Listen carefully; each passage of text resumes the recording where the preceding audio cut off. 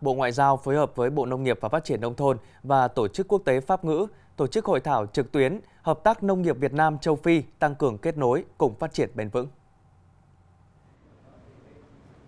Các đại biểu đã đánh giá tiềm năng và cơ hội hợp tác giữa Việt Nam và các nước châu Phi, nhất là trong lĩnh vực thương mại nông sản, sản xuất và chế biến nông nghiệp là rất to lớn. Trên cơ sở đó, các đại biểu đề xuất nhiều phương hướng và cách tiếp cận mới nhằm nâng cao hơn nữa hiệu quả hợp tác nông nghiệp Việt Nam châu Phi thời gian tới theo hướng nâng cao hơn nữa kim ngạch thương mại nông sản hai bên thông qua đẩy mạnh hoạt động xúc tiến thương mại và chú trọng hơn nữa đến thúc đẩy giao thương trực tuyến,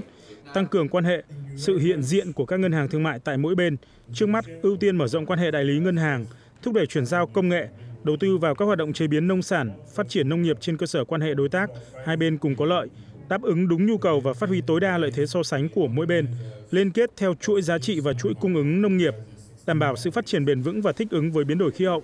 kết nối hỗ trợ các đối tác tư nhân Việt Nam và châu Phi trong hợp tác nông nghiệp và thương mại nông sản.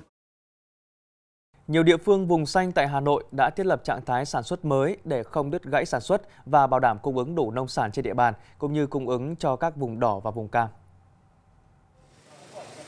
Xã Tân Lập, huyện Đan Phượng là một trong số ít địa phương thuộc vùng đỏ của huyện Đan Phượng. Tuy nhiên, để không đứt gãy chuỗi sản xuất và cung ứng nông sản, xã Tân Lập đã giả soát và phát 400 phiếu ra đồng cho người nông dân. Người nông dân cũng thường xuyên được xét nghiệm COVID-19 để bảo đảm phòng chống dịch bệnh. Chúng tôi ở đây thì xã cũng ngoài là cố gắng cho cần làm ra sản phẩm. Thế thì nhưng mà ra là phải có như vậy chỉ có một đường đi thôi. Thế đồng thời là phải có giấy, có nghĩa là chẳng hạn như là cụm 4 là có giấy ngoài ra cánh đồng cụm 4. Bà con mà muốn ra đồng thì qua các cái chốt kiểm dịch là phải có cái phiếu uh, được xác nhận của Ủy ban dân xã uh, ghi đầy đủ thông tin họ và tên, địa chỉ thế và ra cái xứ đồng là làm việc là phải cụ thể thực hiện nghiêm công tác phòng chống dịch nhưng vẫn duy trì sản xuất cũng là cách làm của nhiều hợp tác xã. Với trên 5 hecta trồng các loại rau màu hữu cơ, dù dịch bệnh có gây nhiều ảnh hưởng đến việc tiêu thụ nông sản, nhưng hợp tác xã nông sản hữu cơ công nghệ cao cuối quý mỗi ngày cung ứng cho khu vực nội đô trên dưới hai tạ rau củ. Hiện tại, khi huyện Đan Phượng nới lỏng hơn các biện pháp phòng chống dịch, hợp tác xã bắt đầu nhận được nhiều đơn hàng hơn.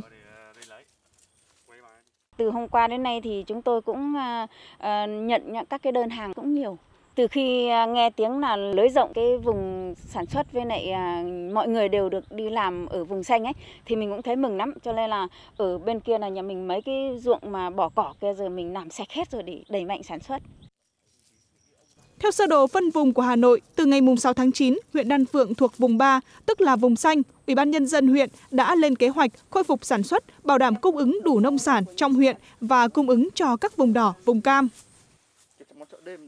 Với cái việc ờ, đặc thù là vùng 3 thì trước tiên là Đan Phượng cũng xác định là ờ, ít nhất phải cung cấp đủ tại chỗ cho huyện Đan Phượng và sau đó là cung cấp thêm cho thị trường thủ đô. Thế thì để đảm bảo được làm được cái việc này thì huyện Đan Phượng chúng tôi cũng đã tập trung thu hoạch cái vụ này và triển khai cái kế hoạch sản xuất vụ ờ, tới và chúng tôi cũng tập trung cái khai thác tối đa cái diện tích để không để cái đất nghỉ.